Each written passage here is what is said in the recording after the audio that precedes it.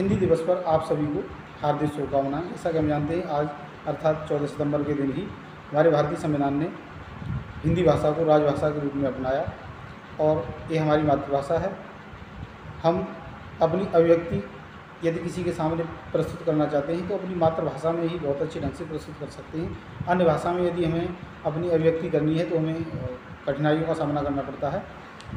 महात्मा गांधी जी ने कहा था कि जैसे किसी बच्चे को शारीरिक विकास के लिए उसके माँ के दूध की आवश्यकता होती है, उसी प्रकार। किसी व्यक्ति का यदि मानसिक विकास करना है तो उसको उसकी मातृभाषा की ज़रूरत होती है, अर्थात वह अपना मानसिक विकास मातृभाषा के बिना नहीं कर सकता। हिंदी रूपी पौधे को जो पोषण सामाजिक अकादमिक और औद्योगिक स्तर पर मिलना चाहिए, वह बहुत ही कम हुआ है। किसी न किसी तरह उसका ध्यान नहीं रखा जा रहा है।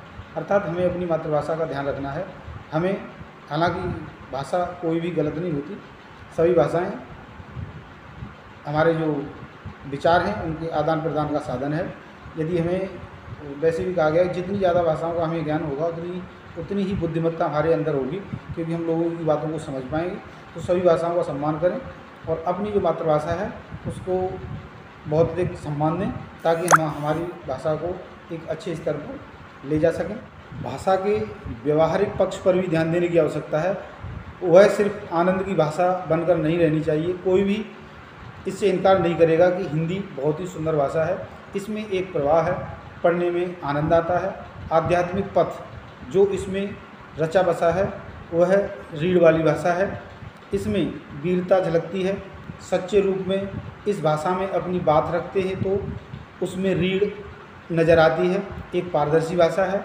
जो लिखा गया वह है, कहा गया यह सुनने वाली भाषा है, अर्थात यह एक ऐसी भाषा है जो हमारे व्यक्तित्व को निखारती है, यानी हम अपनी मातृभाषा में अपनी जो बात है उसको अच्छे ढंग से दूसरों के सामने रख सकते हैं।